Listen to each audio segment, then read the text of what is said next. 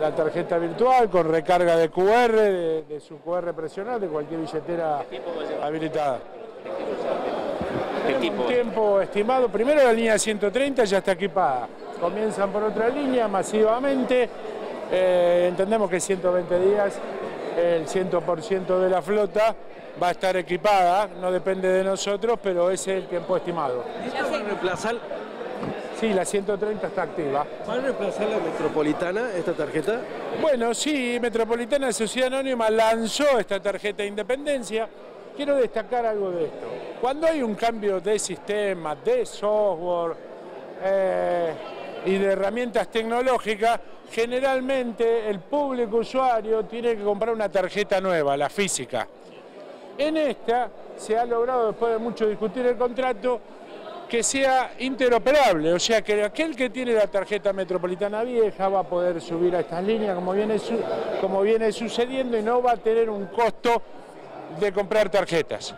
Y también ya va a estar habilitada en, la, en Redbus, la aplicación de Redbus, pueden personalizar su tarjeta virtual y la llevan en el teléfono. ¿Qué inversión demandó, Jorge? ¿Y Entre- quiénes se hicieron cargo? A ver, eh, eh, va a tener una inversión cercana a los 4 millones de dólares en esta primera etapa. Eh, nosotros pagamos un canon donde lógicamente recuperan la inversión.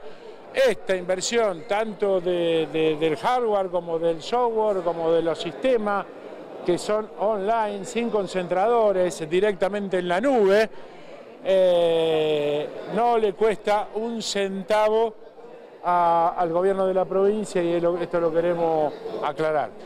Eh, ¿Qué va a pasar con los jubilados, con los boletos de los jubilados? ¿Van a tener que ser reemplazados por la tarjeta o lo van a poder seguir utilizando? El boleto físico. El, el boleto físico va a seguir existiendo un tiempito. Eh, en el área provincial eh, van a ir siendo reemplazados paulatinamente por la nueva tarjeta de independencia, que van a ver que tiene un círculo dorado para que el jubilado, el abuelo o la abuela lo identifique y dice jubilados.